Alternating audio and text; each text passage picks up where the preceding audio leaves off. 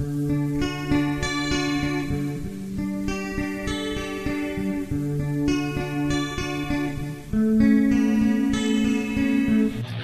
are watching Linux Mint 13 XFCE Bootcamp, and in today's show, we're going to do some post-install cleanup, and that learning begins right now on Spatry's Cup of Linux.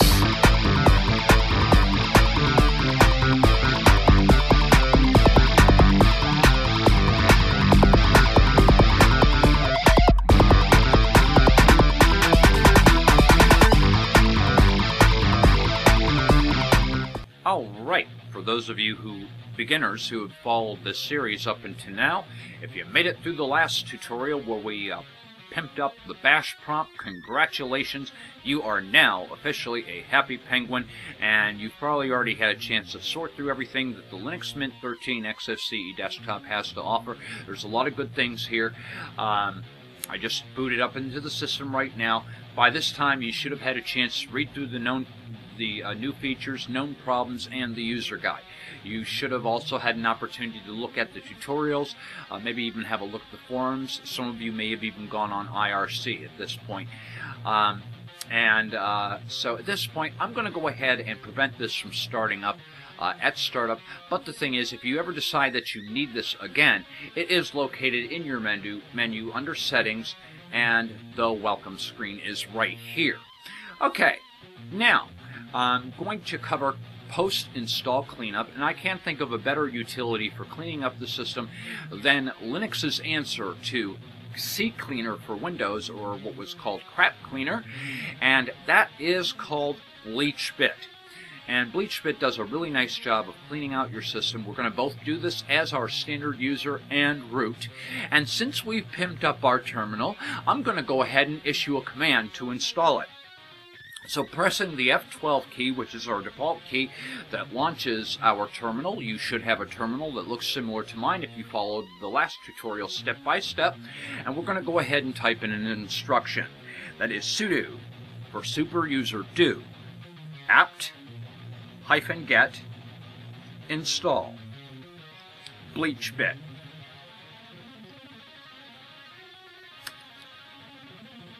It's going to ask for your password. And now it's going to go through the process of installing this for us. Do we want to continue? Absolutely. Just press Y and enter, or just press the enter key, and it should work just fine without even pressing in anything. Whenever a Y is capitalized in a prompt like that, then just pressing the enter key will give that default value of yes. Now that install has completed, let's go ahead and run it.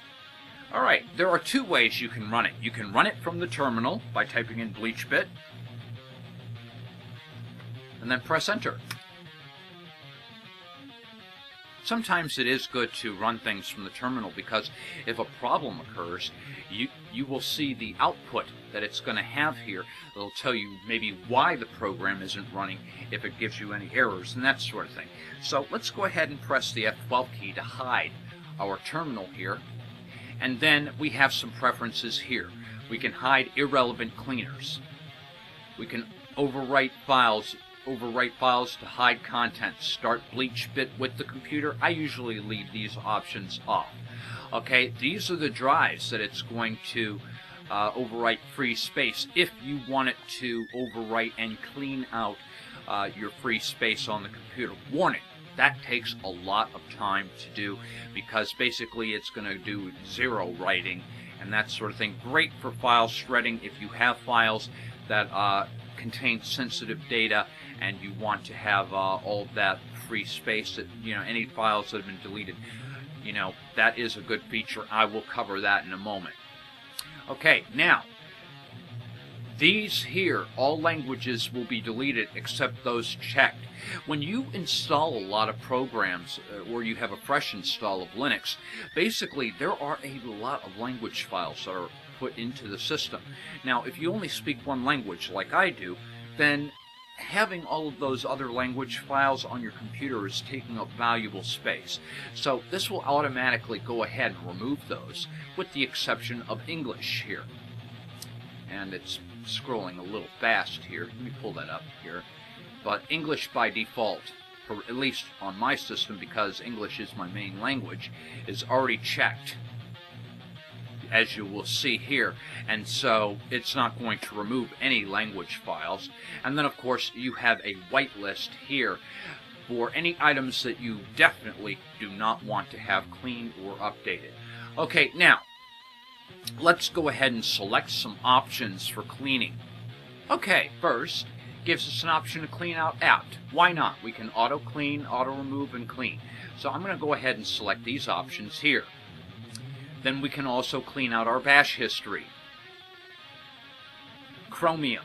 You can clean out uh, cache cookies, current session.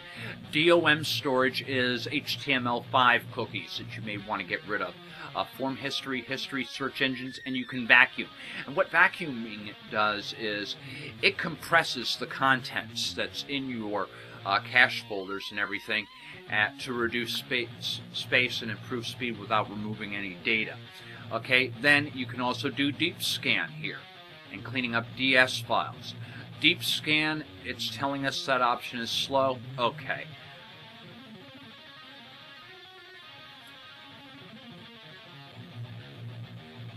Okay, and then warning regarding deep scan backup files. Inspect the preview for any files you wish to keep. Actually, I have all of these options selected. Okay, and deep scan temporary files. I have all of them. And then, of course, uh, it will also remove thumbs DB as well. says the option is a little bit slower, but gives it a good cleaning here. Alright, and then we're going to go ahead and do the same thing with Firefox. But maybe, just maybe, I use Firefox as a main browser. So maybe I want it to keep my cookies because, you know, there are websites that I visit frequently that I don't really want to type in the passwords for every time. So I can go ahead and uncheck passwords. And if I want to be able to restore previous sessions, I can have that unchecked as well. Mm-hmm. But th pretty much those two options, cookies and passwords, I leave those unchecked. Okay, and then of course, since Flash is installed, we have the option to clean that out. Now, this is where it gets trickier here. Um, and it's going to give us a few warnings. Free disk space. This option is very, very, very, very slow. Pressing OK. And localizations. Memory. Okay, so I'm going to take, take out memory because uh, that wipes a swap and free memory, and um, that really isn't necessary for me. And free disk space, this is the one I was telling you about. It overwrites the free disk space to hide deleted files. Um, only use that option if you have files that you really need to have shredded Otherwise, um, leave that one alone because it does take a long time. Uh, we can clean out our thumbnail cache if we wish. And then, of course, we can clean out uh, X11 as well. When we are satisfied with this, then all we just do is press the X key here and it will start going through the cleaning process. It will ask you, are you sure? Absolutely. Press delete and then we are cleaning out the system and as you will see here it's going through a hefty process of cleaning out those files and I'll pause the video while it's doing this. Okay, and that did not take as long as I thought it was going to take, and that's nice. We did recover uh, 19.7 megabytes. 84 files were deleted, and there were 21 special operations. There were some errors that occurred here, but this was simply because um, it could not clean out uh, like the uh, var or cache and your app cache and that sort of thing because that requires root privileges. So you are going to see errors when you are running as uh, as a standard user and not the root user. Let's go ahead and close this because now we're going to see a big difference when we run this as root. So press F12 on your keyboard here and now You'll see what the program did, by the way, during that time that we were running it.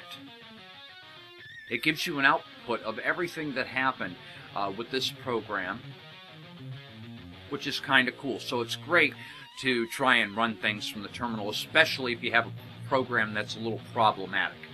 Now, we are going to run this as root. And to do this, we're going to type in super user do or sudo. Sudo bleachbit. Okay, that's odd. Hmm. Because this does not look like it is running as root. But we have a shortcut for that as well right here. Because we should be adding in the options. So let's go ahead into accessories here and see if we get something different. Here it is, bleachbit is root. Then we can type in our password. I thought that was weird. That, or I could have mistyped it too. Okay, and as you can see here, now we have options we need to put in again. Alright, and as before, all the preferences and everything are okay for this. And uh, we're going to clean out apt, DS scan,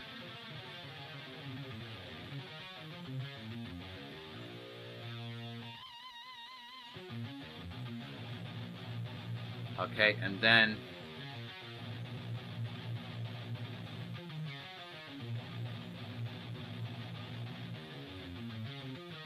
Alright, and then I'm going to uncheck free disk space and memory because it's really not necessary and this is a virtual uh, appliance that I'm doing all of this in and then I'm going to go ahead and press the X button and press the delete button and then you will see that a lot more things are going to get cleaned out here.